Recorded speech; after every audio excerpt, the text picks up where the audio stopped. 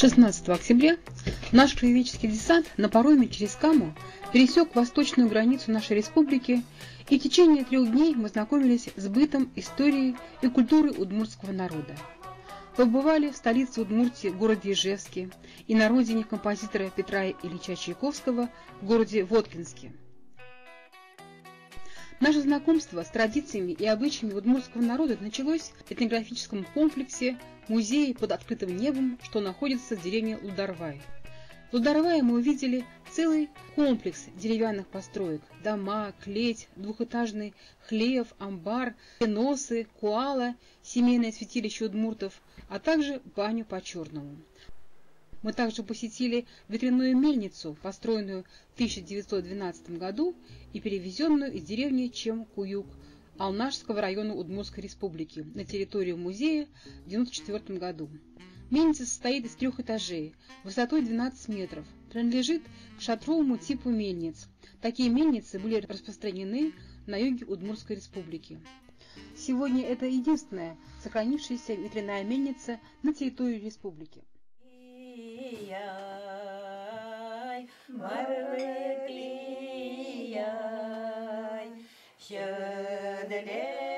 Puleș aș cazem,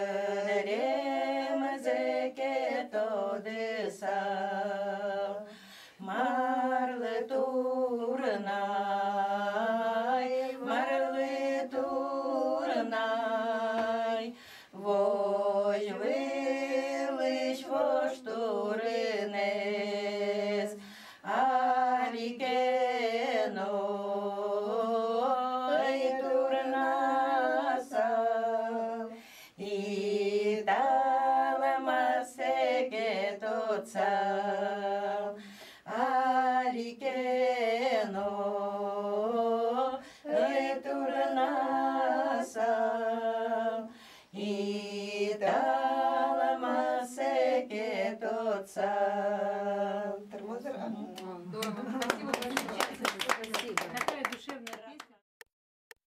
На обзорной автобусной пешеходной экскурсии мы совершили экскурсию на тему Ижевск исторические.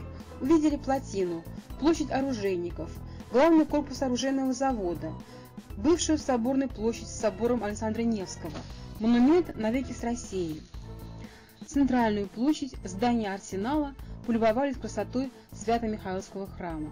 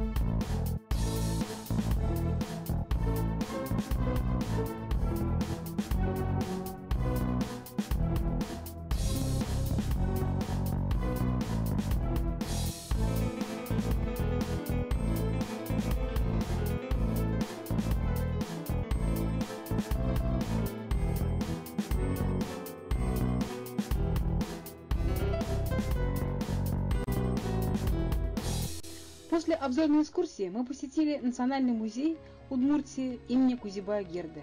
Музей располагается в здании бывшего арсенала Ижевского оружейного завода, памятника промышленной архитектуры первой четверти XIX века. Построен архитектором Дудиным в стиле высокого классицизма.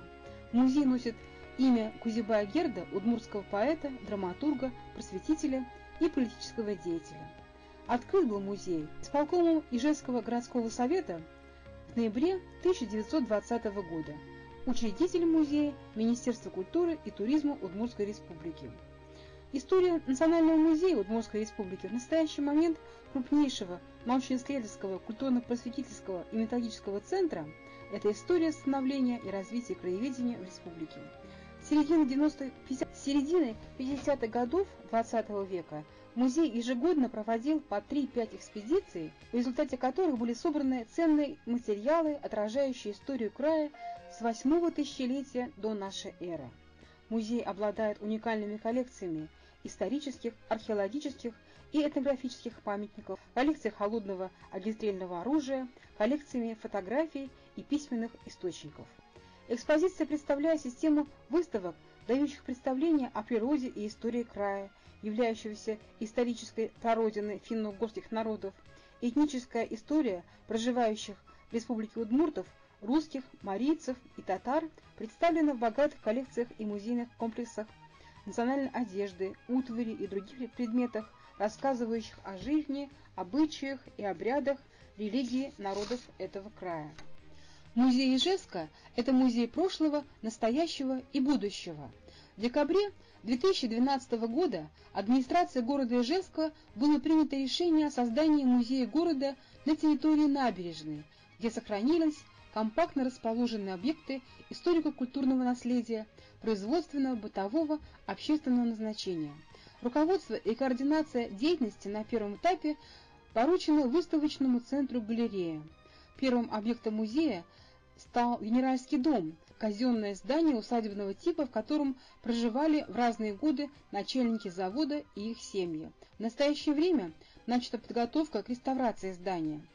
Музей планируется как средовой, с дальнейшей реконструкцией части традиционного производственного и культурного ландшафта и музеификацией ряда историко-культурных объектов. В чем особенность данного музея? Музей исследует и представляет феномен Ижевска как уральского города-завода, как городское сообщество. Это будет распределенный средовой музей, включающий несколько объектов зданий, музей прошлого, настоящего и будущего Ижевска, музей, созданный с участием горожан, музей ижевских историй. На набережной Ижевска, благодаря музею этого города, может появиться новый квартал. Названия могут быть разными – прибрежные, музейные, культурные, но суть одна – это будет набережная для людей.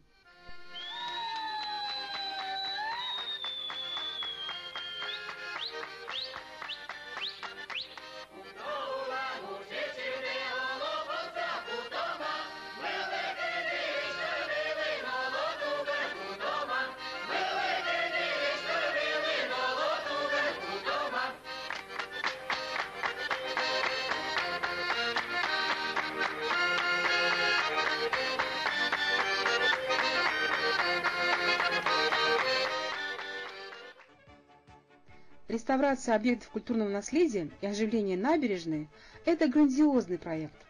Первый объект, который был запущен – Генеральский дом.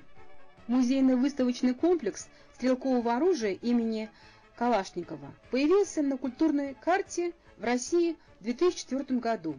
Он сразу же стал достопримечательностью столицы Удмуртии, оружейная история которого насчитывает более 200 лет.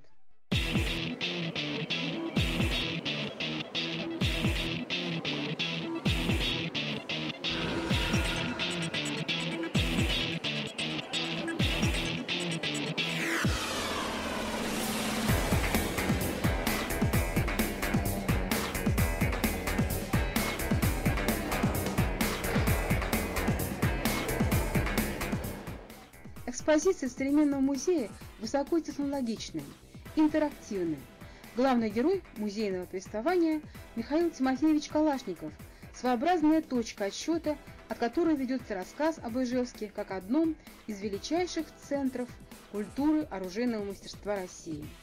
Здесь создан демонстрационный зал, включающий современный тир огнестрельного оружия, где представлены различные образцы исторического и современного оружия, а также пневматический и арбалетный тир, оснащенный мультимедийными программами. Музей интересен и привлекателен для самого широкого круга людей. Его посетители – жители Удмуртской республики, России и зарубежные гости.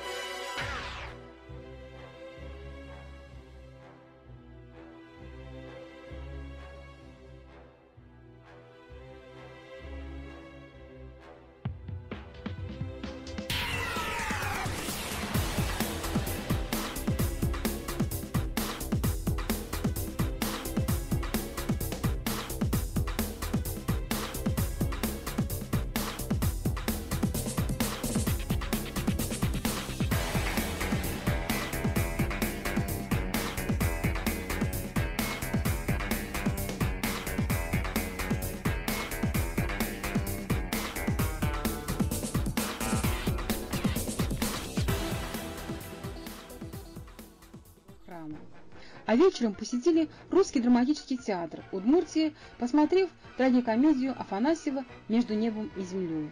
Несмотря на пасмурную погоду, интерес к городу был велик.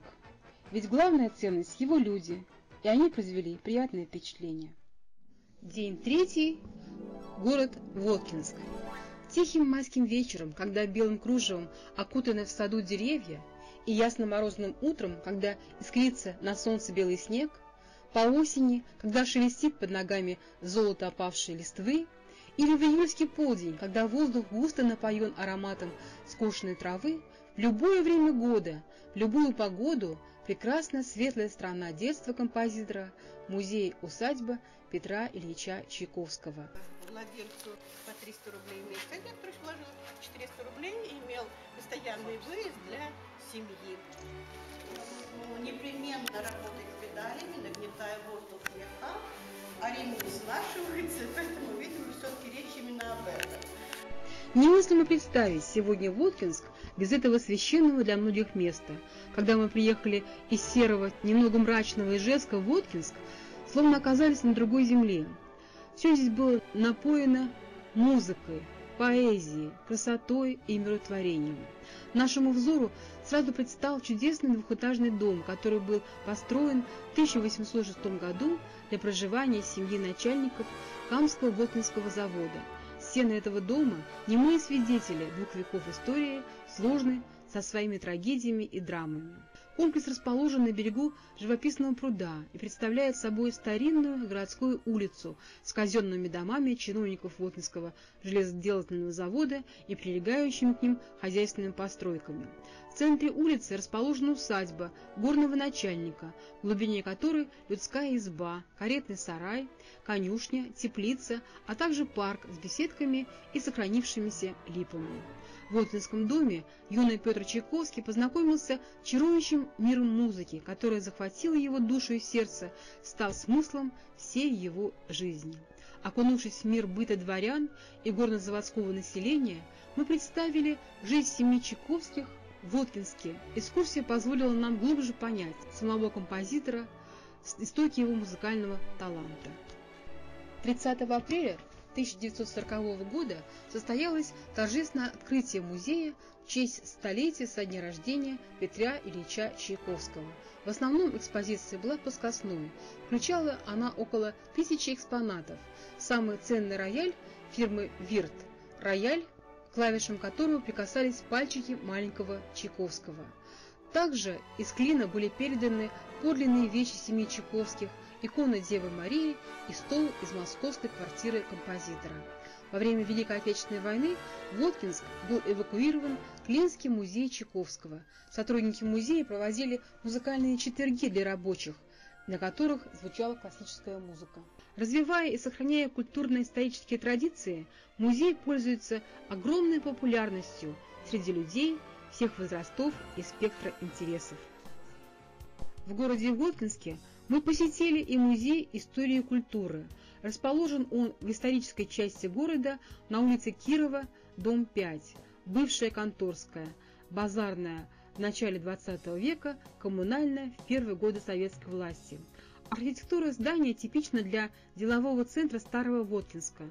Здание построено в конце XIX века как купеческий дом с торговой лавкой на первом этаже. В начале XX века на втором этаже размещались классы первого женского и мужского училища, а с 1926 по 1966 годы первый этаж здания занимал промтоварный магазин, а на втором этаже работала городская типография. Музей был открыт 21 февраля 1968 года благодаря инициативной группе, которая объединяла коренных жителей города, историков, инженеров, учителей.